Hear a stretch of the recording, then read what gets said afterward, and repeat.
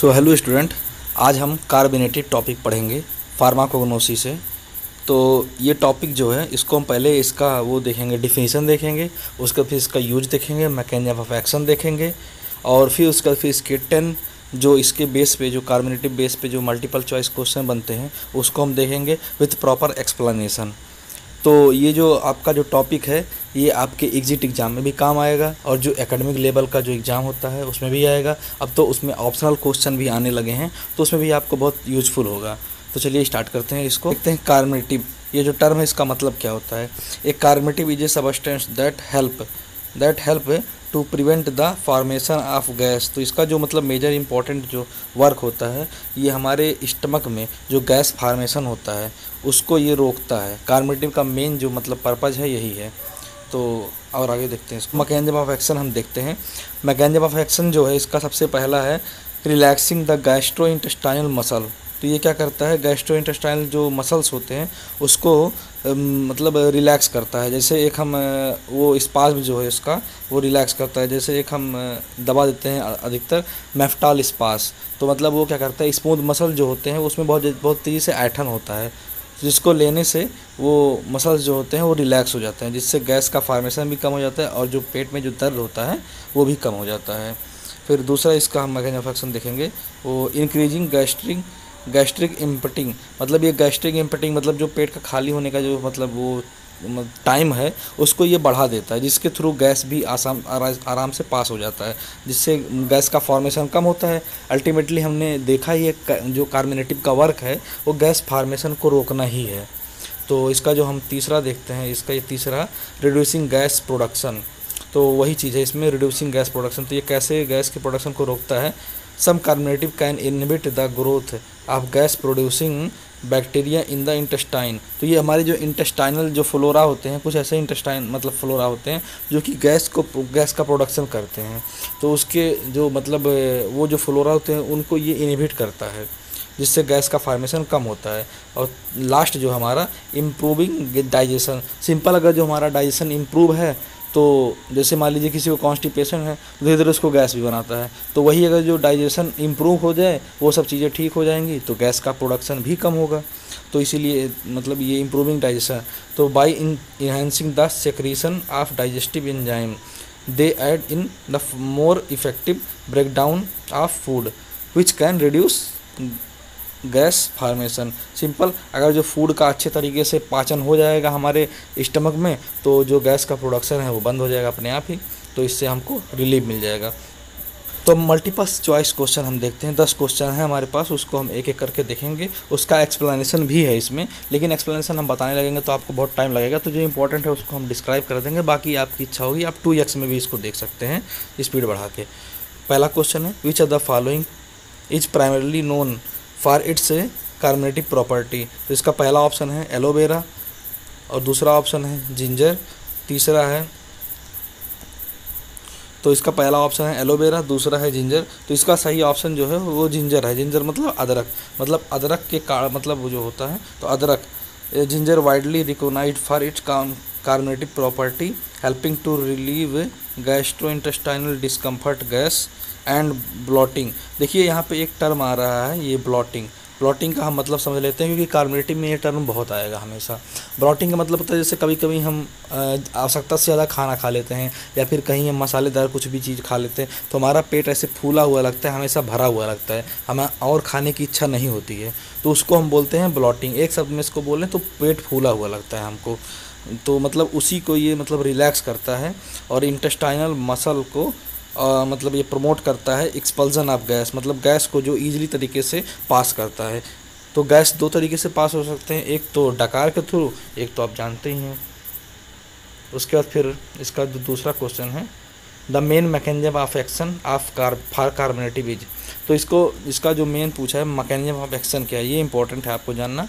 ये आपको हमने पहले ही बता चुका है। तो पहला इसका ऑप्शन है रिड्यूसिंग इन पहला इसका ऑप्शन है रिड्यूसिंग इन्फ्लामेशन दूसरा इंक्रीज द बाइल प्रोडक्शन और तीसरा रिलैक्सिंग गैस्ट्रोइंटेस्टाइनल मसल चौथा इन्हेंसिंग इम्यून रिस्पांस तो इसमें इम्यून रिस्पांस का कोई मतलब रोल नहीं है। तो इसका जो सही ऑप्शन होगा, वो तीसरा होगा रिलैक्सिंग गैस्ट्रो इंटेस्टाइनल मसल तो गैस्ट्रो इंटेस्टाइनल मसल जो है, अगर जो वो रिलैक्स हो जाएगा तो पेट में जो एक मरोड़ टाइप का होता है, अगर जो वो मतलब नहीं रहेगा तो ये गैस भी नहीं बनेगा। तो इसका ये देखिए, यहाँ पे सोल्यूशन है। ऑप्शन सी सही है। इसका सोल्यूशन जो है यही चीज़ है। Carminative work primarily by relaxing the smooth muscle of the gastrointestinal tract इसका जो मेजर एक्शन जो है इसी के थ्रू होता है। Which help in expulsion of gas and reducing bloating and discomfort वही मतलब जब मसल्स जो होती है हमारे पेट की वो रिलैक्स हो जाएँगी तो गैस इजी तरीके से पास होगा। और जो ब्लॉटिंग जो पेट में फूला मतलब ऐसे लगता है कि भारी भारीपन लग रहा है, वो भी हमारा कम हो जाएगा। तो इसका तीसरा क्वेश्चन देखते हैं। Which chemical compound found in peppermint contribute to it carminative peppermint एक जो पौधा होता है, उसमें ऐसा मतलब कौन सा केमिकल पाया जाता है जो कि अपना कार्मिनेटिव एक्शन दिखाता है? मतलब जो गैस का फॉर्मेशन नहीं बनने देता है। तो इसका पहला ऑप्शन है सेपोनिन दूसरा है मेंथाल तीसरा टैनिन और जो चौथा है कार्क्यूमिन तो इसका सही ऑप्शन जो है, वो है मेंथाल मेंथॉल इसका आइए सोल्यूशन देख लेते हैं। Menthol is primary active compound in peppermint peppermint में प्राइमरी एक्टिव कंपाउंड होता है, जो कि मतलब कार्बोनेटिव इफ़ेक्ट देता है। By by relaxing smooth muscle of gastrointestinal tract and and alleviating spasm and gas तो वही चीज़ है इसको। फिर आगे देखते हैं carminative are often use to relieve which of the following symptom मतलब कार्मेटिव जो होता है, वो कौन से सिम्टम्स से रिलीज़ रिलीफ दिलाता है हमको? तो इसका हमने पहले देख चुका है तो डायरिया होगा नहीं ये, और कॉन्स्टिपेशन भी नहीं होगा। इसका जो सही ऑप्शन हो जाएगा ये ब्लॉटिंग एंड गैस मतलब वही पेट का फूलना कम कर देगा और गैस को इसी तरीके से पास करा देगा। तो इसका भी यहाँ पे सोल्यूशन है, इसको सोल्यूशन आप देख लीजिएगा। फिर which part of fennel plant is primary use for it carminative property वही चीज़ पूछ रहा है जो फेनल फेनल मतलब होता है हमारा जीरा। तो ये जो जीरा जो है, उसकी मतलब ऐसी कौन सी प्रॉपर्टी प्लांट की है, जो कि मतलब कार्बोनेटिव दिखाता है? मतलब उसका जो पार्ट है कौन सा? तो इसका जो पहला ऑप्शन है लीफ है, दूसरा फ्लावर है, तीसरा सीड है, चौथा रूट है। तो इसका सही ऑप्शन जो हो जाएगा वो सीड है। सीड का ही हम मतलब यूज़ करते हैं कार्बोनेटिव एज ए कार्बोनेटिव तो फिर इसका जो छठवा है, इसको camo chamomile chamomile a chamomile a non carminative belong to which plant family मतलब ये पूछ रहा है कैमोमाइल जो होता है, एक कार्मिनेटिव है, जो कि मतलब किस फैमिली से बिलोंग करता है। तो इसका जो सही ऑप्शन हो जाएगा एस्ट्रेसी चलिए नेक्स्ट क्वेश्चन की तरफ़ बढ़ते हैं। Which are the following essential oil is commonly use as carminative इसमें पूछ रहा है मतलब ऐसे कौन से एसेंशियल ऑयल हैं जो कि कार्बोनेटिव की तरह यूज़ किए जाते हैं? तो पहला लेवेंडर ऑयल दूसरा पिपरमिंट ऑयल और चौथा जो है टी ट्री ऑयल और चौथा जो है यूकोलिप्टस है। तो इसमें से ये भी गलत है, ये पिपरमिंट ऑयल जो है ये सही है, बाकी ये यूकोलिप्टस ऑयल भी गलत है। पिपरमिंट ऑयल जो होता है, इसमें मतलब ऐसे कौन सी प्रॉपर्टी देखते हैं? तो peppermint oil is commonly use as a carminative carminative तरह यूज़ करते हैं। इसमें एक मतलब क्या पाया जाता है? हाईली मेंथाल कंटेंट पाया जाता है। बस यही इसको याद रखना है हमको। पिपरमिंट ऑयल जो होता है उसमें मैंथाल पाया जाता है जो कि कर, क्या करता है? हेल्प करता है। Relaxing gastrointestinal muscle and relieve gas. और अब आठवां देखते हैं हम इसमें। The term carminative refer to substance that मतलब कार्बोनेटिव जो टर्म है वो किस सबस्टेंस को रिफ़र करता है? तो इसमें रिड्यूसिंग इन्फ्लामेशन गलत है ये। तीस इंक्रीज यूरिन प्रोडक्शन ये भी गलत है। Prevent of expulsion gas from the intestinal तो ये सही है आपका। मतलब ये क्या करता है गैस को बनने से रोकता है। अगर जो बन भी गया है तो गैस को इजी तरीके से पास कराता है। इसका जो सोलूशन है, यहाँ पे देख लीजिएगा बाकी क्वेश्चन नंबर नौ।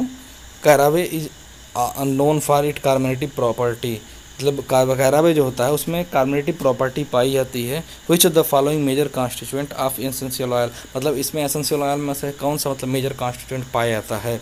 तो इसमें पहला ऑप्शन थाइमॉल दूसरा यूजिनॉल और तीसरा कैरामोन और लिनालॉल तो इसमें जो सही ऑप्शन है, वो हो जाएगा कैरामोन कैरामोन जो होता है मतलब इसी के कार्ड इसमें कैरावे में कैरावे मतलब वो होता है, सौंफ होता है। तो इसी इसी के कार्ड इसमें क्या कार्बोनेटिव प्रॉपर्टी पाई जाती है? तो इसमें कैरामोन जो होता है मेजर कॉन्स्टिट्यूएंट ऑफ़ कैरावे होता है, यही मेजर कॉन्स्टिट्यूएंट का होता है। तो इसका क्वेश्चन नंबर दस देख लेते हैं।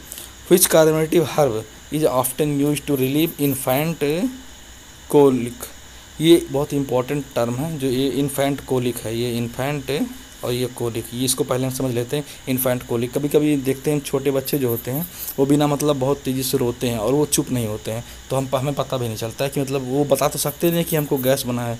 तो सिंपल तो उस उस समय हम इसमें मतलब कौन सा वो देते हैं मेडिसिन तो इसमें हम फेनल देते हैं उस समय। उस समय उसको फेनल देते हैं, क्योंकि वो पता नहीं चलता है जनरली सबको तो इसलिए उस टर्म को हम बोलते हैं इन्फेंट कोलिक तो ये रहा आपका दस क्वेश्चन जो कि अच्छे तरीके से हमने मतलब इसको एक्सप्लेन कर दिया है। टाइम बहुत ज़्यादा लग जाता है, इसलिए हमने इसको सभी सोल्यूशन को एक्सप्लेन नहीं किया है। तो आप इसको देख लीजिएगा बाकी। अब इसका जो लिंक है ये हम अपने टेलीग्राम में दे देंगे, इसका ये पूरा पीडीएफ। तो आप इसको पढ़ लीजिएगा, बाकी आपके एकेडमिक लेवल पे भी एग्जीक्यूटिव एग्ज़ाम लेवल पे भी सभी में काम आ जाएगा। ओके बहुत बहुत धन्यवाद। और आप लोग इसको देखिए तो बताइए हमको कमेंट में, जिससे हमको पता चले। और अब से रेगुलर वीडियो ये आती रहेंगी आपके लिए तो हमें कमेंट में ज़रूर बताएँ कैसा टॉपिक लग रहा है। अगर जो कुछ इसमें इम्प्रूवमेंट करना है तो वो भी बताइए, इसको हम इम्प्रूव भी कर देंगे। ओके बहुत बहुत धन्यवाद। जय हिंद, जय भारत।